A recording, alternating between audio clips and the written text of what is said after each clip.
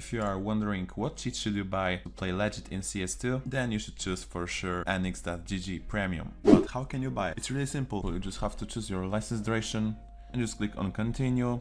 Then you just have to accept the agreements and paste your email here. Here in this section, you just have to finish your payment. When you recite your license key, you should go to AnyX.gg site and if you have an account, just log in. If you don't, then register. After all of that, you will have to download your launcher. But before launching the loader, you will have to download this medal.tv application which will work as an overlay for our CS2 make the cheat work as it should so if you did all of these necessary steps you just have to launch your loader you just have to log in and here you have to choose your subscription, which probably be premium. And after all of this, you just have to load your software. And now, which is really important, if you see this window, you have to click OK once game has loaded into main menu.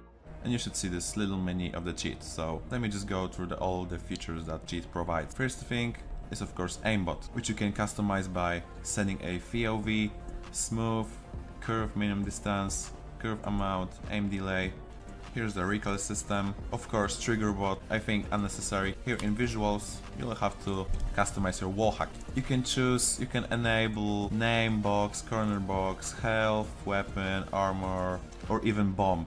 In here in this section, there's a web radar feature, which is really cool and only AnyX.gg has this feature, so it's worth it. And here, grenade helper, which is really helpful feature. And here in configs you just have to load your config or create one so and here in the snake section you can play snake while waiting for the game but now you will see this shit in real game. Enjoy guys